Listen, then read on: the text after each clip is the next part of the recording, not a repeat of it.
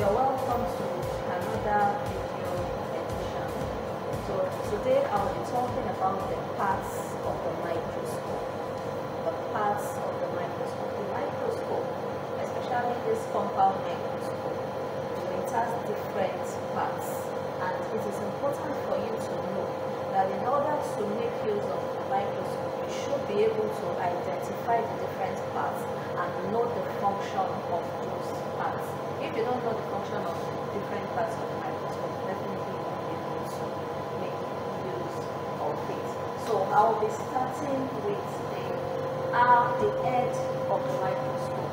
So this is the head of the microscope. Just as human beings have head, you know, where your eyes and your nose are.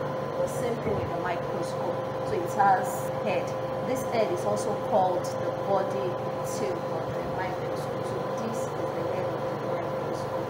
Then we also have the arm of the microscope, ARM, the arm of the microscope. And this is the arm of the microscope.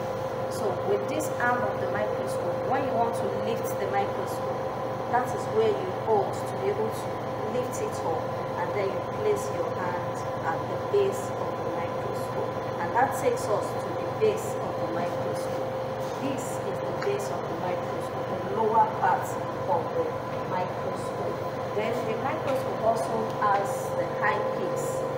These are the high peaks. We have two high peaks, this and this. And this, so you can see 10x written here. So this is a times 10 eyepiece.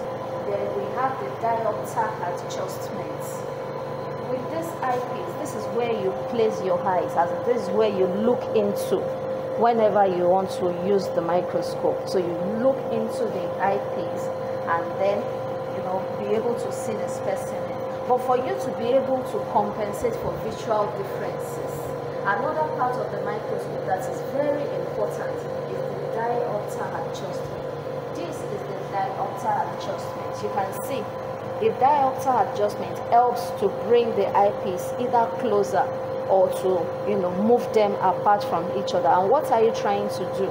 Is to be able to compensate for visual differences. Some people when they want to use the microscope, you see them using just one eye. They'll look into one eyepiece and you know squint the other one. It shouldn't be like that. You should be able to open the two eyes at the same time when you are looking into the microscope. And so you, with the aid of the diopter adjustment, you can be able to adjust it such that when you look into the eyepiece, you open the two eyes at the same time and still be able to see what you want to see without squinting. Then the other part that you need to know is the coarse adjustment. We have two adjustments on the microscope actually. The coarse adjustment and this is the coarse adjustment. We also have the fine adjustment. Whenever you have the opportunity to use the microscope, I will want you to, you know, experiment it.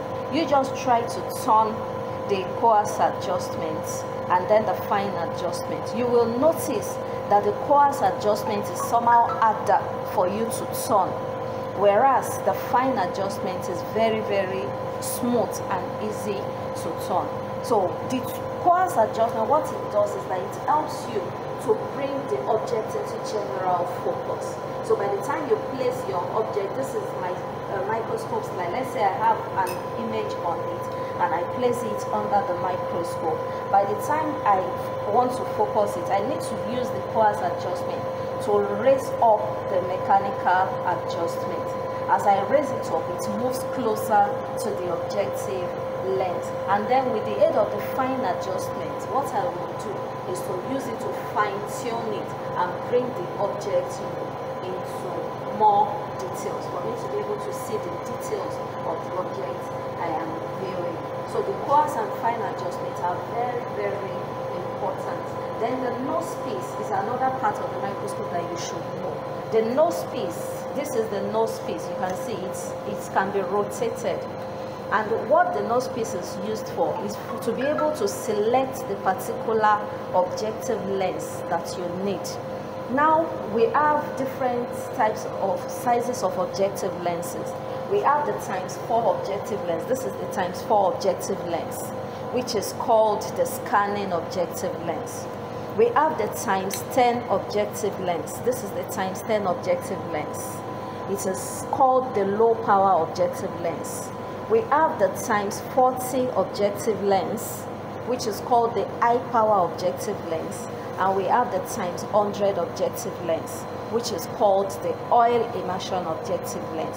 So with the aid of the nose piece, I can select the particular objective lens I want by rotating it. Then the other part that you need to know is the iris diaphragm.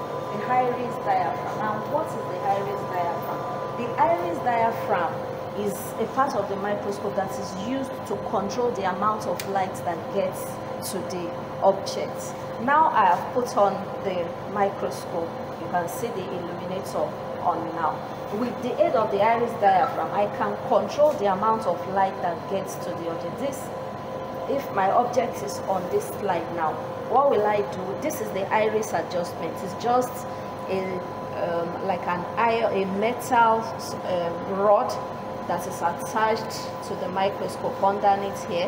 When you open it, by the time you open it, you can see the amount of light here but by the time I close the iris diaphragm, what do you notice? You notice that the light reduces. So when you open, you, that means you have more light. If you need more light to enter into the object, you open the iris diaphragm. But if you want low amount of light, you close the iris diaphragm. That is how that works. Then the other part that we also need to talk about is the condenser. The condenser is another type of lens, you know, in the microscope. And now come and see, the condenser has a control here. So this is what I can, what I use, you know, to move the condenser. You can move the condenser up or down. The condenser is actually here. Is here is a lens in this place here when you you see there is another type of lens just like this just like the objective so it is a lens you can move it upward the way I just moved it or you can move it downward. And what do you what is the function of this condenser?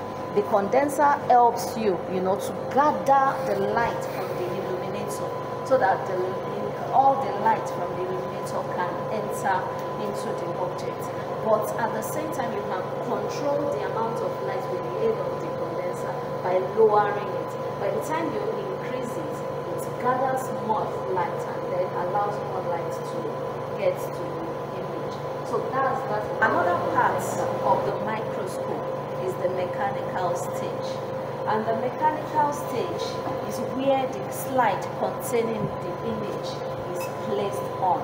So it's like a flat surface where you place the slide on. Then another part that is important is the stage clip. The stage clip, this is it. It's a metal soft metal clip. You know, it helps to hold the slide in place so that by the time you are moving the stage, this uh, by the time you are moving the stage, the slide does not move. So it helps to hold the slide in place. And then another part is the stage control the stage control helps to move the stage either forward or backward or either forward or backward or sideways right or left. So that important is the aperture the aperture is an opening on the mechanical stage.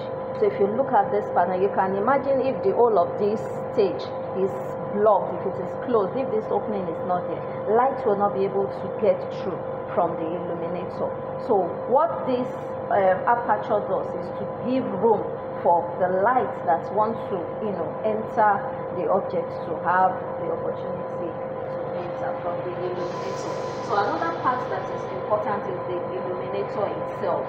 You, you know, so we need a source of light for us to be able to focus and be able to view any object under the microscope. So the illuminator in this case is attached to this place. So this is an electrical illuminator. In some microscope, you see, you know, an external bulb being placed. Some even makes use of mirror so that you can use light from the sunlight, you know, to focus the microscope. But in this case now, it's an electrical one that has been connected to this microscope. the important thing is to have a source of light that will enter into the microscope and be able to help you to view your object. Another part that is important in the microscope is the brightness adjustment. So the brightness adjustment, you can see the illuminator that the light is on. So we can actually adjust the amount of light entering into the microscope with the aid of the uh, brightness adjustment. This is the brightness adjustment here. So once you just turn it, you know, you can see that the light has gone off. So I can increase the light or reduce the light here. And then we also have the on and off switch. So this is the on and off switch. Once I switch it on, it goes off. Once I put it off, it goes off. Once I put it on, it comes on. And that is it. So those are the different parts of the microscope. So thank you for watching.